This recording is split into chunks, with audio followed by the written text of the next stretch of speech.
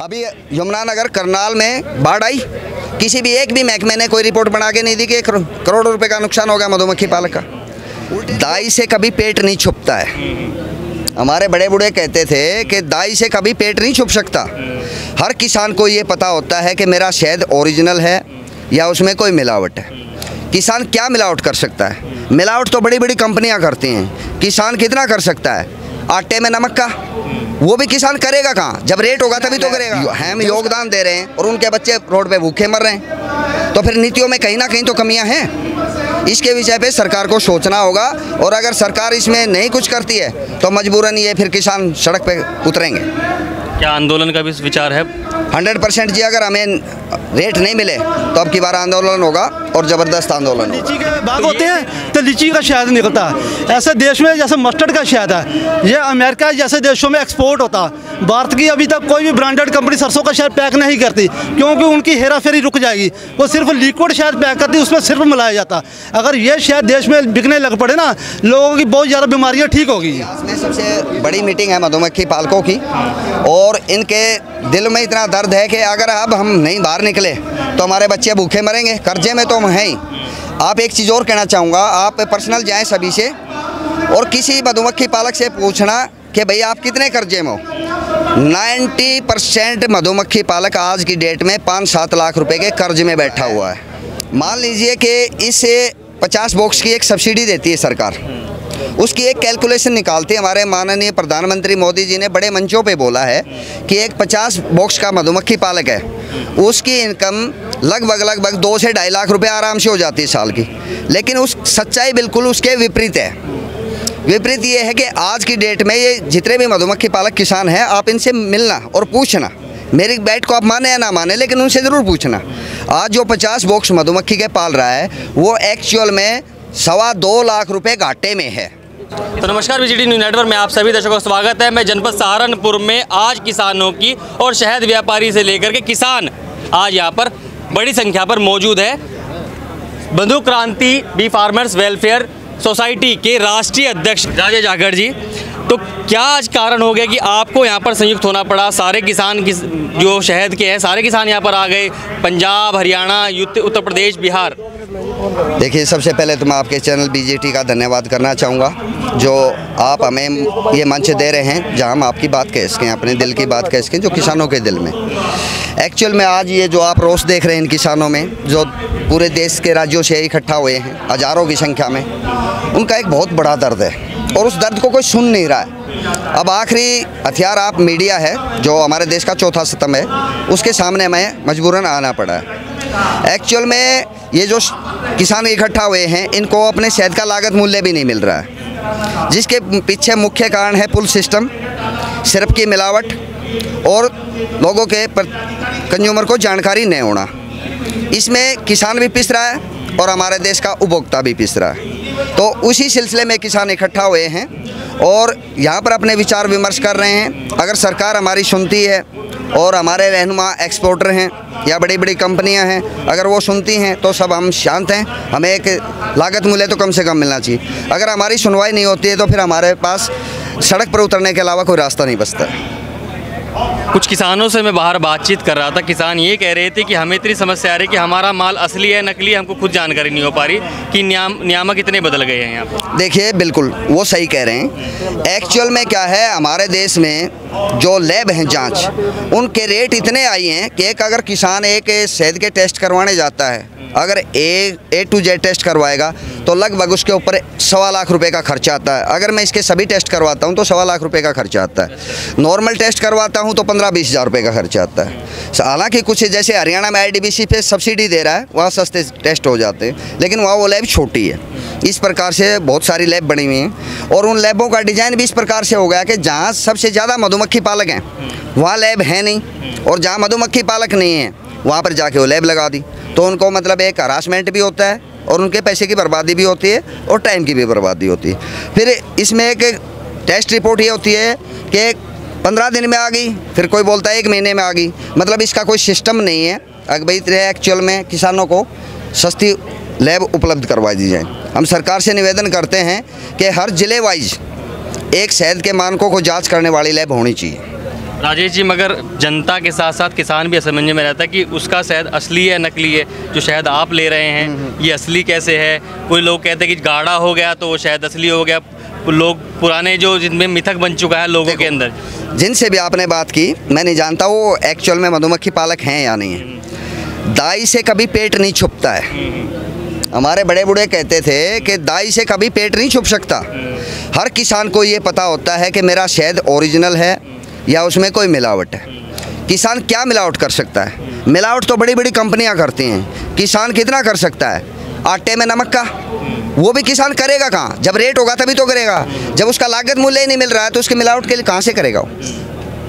इसी प्रकार देखो, ये जो शहद है, इसके क्या होते हैं? कुछ भ्रांतियाँ होती हैं। एक ही शहद को आप सिल्ड निकालेंगे। यानी कि 18 के मॉइस्चर पे निकालते हो आप तो ये शहद लाइफ टाइम चलेगा।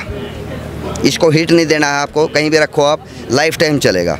आप कंपनी से किसी का शहद ले आइए, उसका ढक्कन खोल दीजिए, दो बार, चार बार खाइए और उसको रख दीजिए। और दो महीने बाद देखोगे तो आप उसमें सड़ांद आनी शुरू हो जाएगी। फिर किसान के शहद में भी सड़ांद आ सकती है। कैसे? अगर इसको सही पका के नहीं निकाला तो इसके शहद में भी मिलावट नहीं होगी, उसकी क्वालिटी थोड़ी डाउन होगी। लेकिन ये शहद सुपर का शहद बोलते हैं हम इसको, किसान जो अपनी भाषा है, उसकी एक टेक्निकल भाषा होती है कि सुपर का। साइंटिफिक तरीके से। ये शायद ज़िंदगी में कभी ख़राब नहीं होता। हम एक आपको गिफ्ट भी करेंगे और आप उसको टेस्ट भी करना और मार्केट से भी एक बोतल शहद लेके आना और फिर ज़रूर उसको अखबार में छापना और लोगों को दिखाना कि सच्चाई क्या है। मगर अध्यक्ष जी, यहाँ एक सवाल और बन रहा है कि जो किसान और सरकार है उनके बीच समन्वय स्थापित नहीं हो रहे। क्या लोग ये कह रहे हैं कि यहाँ पर जो दलाल हैं वो ज़्यादा हो गए उनके रेट की किसानों को असली लागत मूल्य yes, नहीं मिल पा एक्जैक्टली है। यहाँ ये हो रहा है। मान लीजिए कि इसे पचास बॉक्स की एक सब्सिडी देती है सरकार।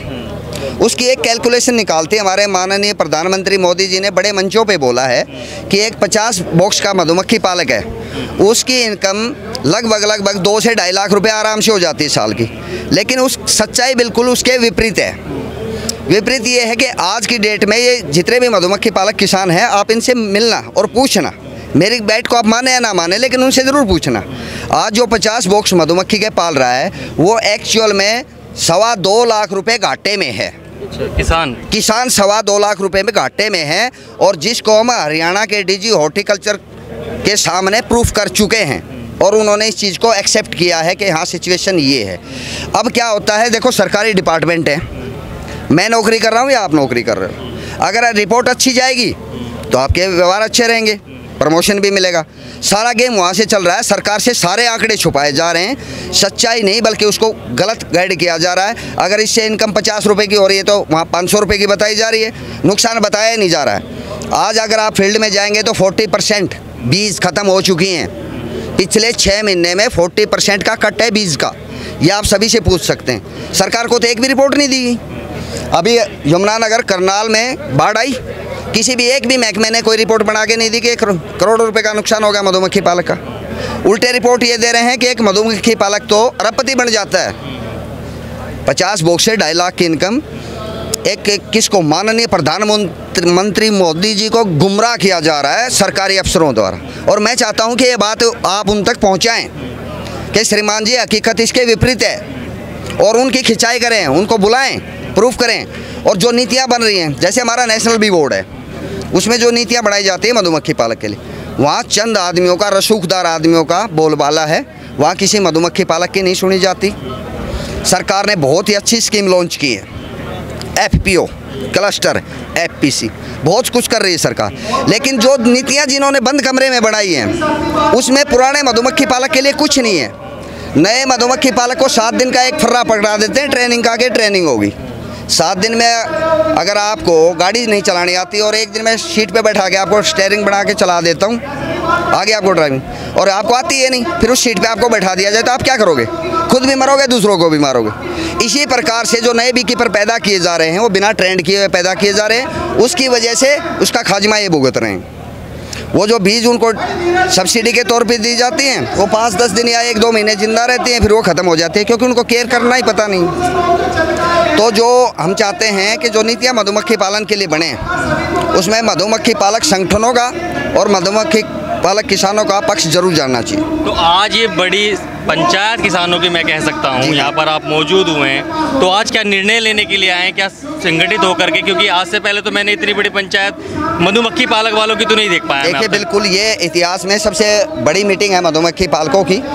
और इनके दिल में इतना दर्द है कि अगर अब हम नहीं बाहर निकले तो हमारे बच्चे भूखे मरेंगे कर्जे में तो हम हैं ही। आप एक चीज़ और कहना चाहूँगा आप पर्सनल जाएँ सभी से। और किसी मधुमक्खी पालक से पूछना कि भई आप कितने कर्जे में हो? 90 परसेंट मधुमक्खी पालक आज की डेट में पाँच सात लाख रुपए के कर्ज में बैठा हुआ है। उसका दिन भर दिन भर सूद चढ़ रहा है। जहाँ भी जा रहे हैं, कोई सुनवाई नहीं हो रही। तो किसान क्या करेगा? यहाँ हमारे सीधे मौलिक अधिकारों का भी हनन हो रहा है। क्या हमें इस देश- में जीने का हक नहीं है?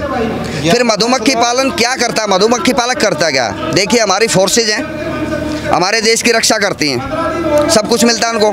T A D A salary सब कुछ मिलता है। और ये जो मधुमक्खी पालक आपके सामने खड़े हैं, ये पूरी प्रकृति की रक्षा कर रहे हैं। आप जो सब्ज़ी खा रहे हैं, इनके योगदान के बिना वो असंभव है। आप जो भी दालें खा रहे हैं, उनका पोलिनेशन इसी मधुमक्खी द्वारा होता है। जब इतना कुछ कर रहा है, जो प्रकृति को बचाने में इतना अहम हम योगदान दे रहे हैं, और उनके बच्चे रोड पे भूखे मर रहे हैं तो फिर नीतियों में कहीं ना कहीं तो कमियाँ हैं। इसके विषय पे सरकार को सोचना होगा और अगर सरकार इसमें नहीं कुछ करती है तो मजबूरन ये फिर किसान सड़क पे उतरेंगे। क्या आंदोलन का भी विचार है? हंड्रेड परसेंट जी अगर हमें रेट नहीं मिले तो अब की बार आंदोलन होगा और ज़बरदस्त आंदोलन होगा। अभी हम आपको दिखाना चाहेंगे। देखिए मैं आपको क्रॉप वाइज बताता हूँ। रुको एक मिनट रखो आप एक मिनट रखो मैं बता रहा हूँ। सबसे पहले जो 80 परसेंट प्रोडक्शन हमारे देश में जो शहद की होती है, वो होती है मस्टर्ड के शहद की। ये शहद आपने मार्केट में कहीं नहीं देखा, अगर देखा है तो मुझे बताओ आप। ऐसा तो नहीं देखा हमारे यहाँ तो लाल शाह आता है लाल शाह आता है देखो ठीक। मेरे हाथ में अजवाइन का शहद है। ये राजस्थान में या एमपी मुरैना में निकलता है। अजवाइन का शहद का मतलब क्या है कि अजवाइन के फूलों का शुद्ध शहद है। जैसे अजवाइन खाने से हमारे पेट रोग सही होते हर शहद का फूल के हिसाब से महत्व होता। है अजवाइन का है। अजवाइन के फूलों का शुद्ध शहद है। जैसे ये मस्टर्ड का शहद है। मस्टर्ड के शहद में क्यों जमता है? इसमें ग्लूकोज की मात्रा बहुत ज़्यादा होती। है लोग कहते हैं ग्लूकोज नुकसान फूल का शहद होता है। ग्लूकोज क्या हमारे शरीर के लिए बहुत फ़ायदेमंद होती। है जैसे एनर्जी लेवल हमारा बहुत बढ़ाती है। जैसे अलग अलग शहद है। ये देखिए किसान मधुमक्खी पालक का किसका शहद है जी? ये सूरजमुखी के फूलों का शुद्ध शहद है। सूरजमुखी। सूरजमुखी का- हर फूल का अलग अलग रंग अलग अलग खुशबू अलग अलग गुण होते हैं। जैसे भारत देश में लीची का शहद निकलता है। लीची का शहद तो लीची ऐसा हो सकता है कि भाई साहब क्या अगर रोज ये गुलाब के ऊपर अलग से मधुमक्खियाँ उन पेड़ पे बिल्कुल हो सकता है सर हर फूल की उतनी रोज की इतनी खेती नहीं होती। अगर रोज के फूल पर रखेंगे नेक्टर बनेगा। जैसे भारतवर्ष में लीची के बाग होते हैं तो लीची का शहद निकलता। ऐसे देश में जैसे मस्टर्ड का शहद है। ये अमेरिका जैसे देशों में एक्सपोर्ट होता। भारत की अभी तक कोई भी ब्रांडेड कंपनी सरसों का शहद पैक नहीं करती क्योंकि उनकी हेरा फेरी रुक जाएगी। वो सिर्फ़ लिक्विड शहद पैक करती उसमें सिर्फ़ मिलाया जाता। अगर ये शहद देश में बिकने लग पड़े ना लोगों की बहुत ज़्यादा बीमारियाँ ठीक होगी ये दिखाओ। अभी देखो। आप ये मेरे कहने से ये ओरिजिनल शहद टेस्ट करके देखना आप। खाइए खाइए आप। नहीं नहीं ऐसे नहीं चम्मच खाए इसका टेस्ट कैसा है? कुछ अलग सा टेस्ट है? अभी एक मिनट इसको पकड़ो भाई। दूसरी चम्मच अभी दूसरी चम्मच। अभी हम आपको दिखाते हैं। ये देखिए मस्टर्ड का जमा हुआ शहद ये मस्टर्ड का है। ये मस्टर्ड का है। अभी इसको भी खाइए आप। इसका अलग टेस्ट होगा अलग खुशबू दानेदार है हाँ ये बिल्कुल दानेदार है। अभी रुको तीसरी ये और पकड़। रुको रुको। दूसरे दो दूसरे दो। एक देखो अभी सूरजमुखी का भी आपको अभी ये देखो। ये शहद देखो। ये शहद जमा हुआ है। फोकस करेंगे पर। इंडिया के अंदर जितने भी शहद होते हैं जो प्रकृति हमें देती है 95 परसेंट शहद सभी जमते हैं। और मार्केट में एक भी जमा हुआ शहद आपको दिखाई नहीं देता। क्यों? क्योंकि उसके अंदर 50 से लेकर 70 प्रतिशत तक की मिक्सिंग की जा रही है। वो एक ही लग, एक ही रंग का होगा एक ही खुशबू का होगा। लेकिन हमारे शहद जितनी बार प्रकार के होंगे। अलग अलग होंगे शहद। सभी शहद अलग अलग तरह के अलग फूल के अलग शहद होंगे। तो क्या मतलब अब ये जो मिक्सिंग होती है कि अलग ही करते हैं बिल्कुल जी कंपनियों को एक टारगेट है कि मुनाफा कमाना। लेकिन शहद क्या होता है हम कहते हैं मधुमक्खी पालक शहद बेचता है तो कंपनी वाले की शहद ही बेचे। ये ना लोगों को सिर्फ़ पर खिला के बीमारियाँ लगाए। मैं आपके चैनल से कहता सिरप के लिए ही हम यहाँ इकट्ठे हुए कि सिरप पे बैन लगनी चाहिए और सिरप ना बिके नहीं तो हम फैक्ट्रियों के बाहर बैठेंगे। मधुमक्खी पालकों के पास यही फ्लेवर नहीं होता है। अलग अलग फ्लेवर का अलग अलग नहीं होता है। अलग अलग कलर होगा उस शहद का। इनके पास एक ही कलर है एक ही टेस्ट है। अड़तालीस तरह का होता है जी। हाँ जी। तो ये थे शहद के पालक जो बनाते शहद बनाते थे। उन किसानों से हमने बात की थी लगातार। जिन किसानों की बात की जाती है वो शहद बनाते हैं। फ़िलहाल खबर कैसी लगी? धन्यवाद। अभी यमुनानगर करनाल में बाढ़ आई। किसी भी एक भी महकमे ने कोई रिपोर्ट बना के नहीं दी कि करोड़ों रुपए का नुकसान हो गया मधुमक्खी पालक का। दाई से कभी पेट नहीं छुपता है। हमारे बड़े बूढ़े कहते थे कि दाई से कभी पेट नहीं छुप सकता। हर किसान को ये पता होता है कि मेरा शहद ओरिजिनल है या उसमें कोई मिलावट है। किसान क्या मिलावट कर सकता है? मिलावट तो बड़ी बड़ी कंपनियाँ करती हैं। किसान कितना कर सकता है? आटे में नमक का। वो भी किसान करेगा कहाँ? जब रेट होगा तभी तो करेगा। हम योगदान दे रहे हैं और उनके बच्चे रोड पे भूखे मर रहे हैं। तो फिर नीतियों में कहीं ना कहीं तो कमियाँ हैं। इसके विषय पे सरकार को सोचना होगा और अगर सरकार इसमें नहीं कुछ करती है तो मजबूरन ये फिर किसान सड़क पे उतरेंगे। क्या आंदोलन का भी विचार है? हंड्रेड परसेंट जी अगर हमें रेट नहीं मिले तो अब की बार आंदोलन होगा। और ज़बरदस्त आंदोलन होगा। बाग होते हैं तो लीची का शहद निकलता। है ऐसे देश में जैसे मस्टर्ड का शहद है ये अमेरिका जैसे देशों में एक्सपोर्ट होता। है भारत की अभी तक कोई भी ब्रांडेड कंपनी सरसों का शहद पैक नहीं करती क्योंकि उनकी हेरा फेरी रुक जाएगी। वो सिर्फ़ लिक्विड शहद पैक करती उसमें सिर्फ़ मिलाया जाता। अगर ये शहद देश में बिकने लग पड़े ना लोगों की बहुत ज़्यादा बीमारियाँ ठीक होगी बड़ी मीटिंग है मधुमक्खी पालकों की और इनके दिल में इतना दर्द है कि अगर अब हम नहीं बाहर निकले तो हमारे बच्चे भूखे मरेंगे कर्जे में तो हम है। आप एक चीज़ और कहना चाहूँगा, आप पर्सनल जाएँ सभी से और किसी मधुमक्खी पालक से पूछना कि भाई आप कितने कर्जे में हो। 90 परसेंट मधुमक्खी पालक आज की डेट में पाँच सात लाख रुपए के कर्ज में बैठा हुआ है। मान लीजिए कि इसे 50 बॉक्स की एक सब्सिडी देती है सरकार।